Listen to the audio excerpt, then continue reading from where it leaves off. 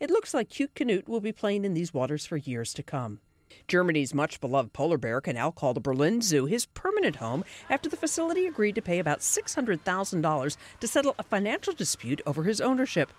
This bear has grabbed headlines and stolen the hearts of millions ever since he first went on display back in 2007. Abandoned by his mother, it now appears the entire country has adopted the animal. In fact, Knut Mania has turned into a beast of its own, with thousands of dolls and pictures of him being sold every year. That also led to this current dispute between two zoos. One which owned Knut's father also insisted it had the rights to its first offspring.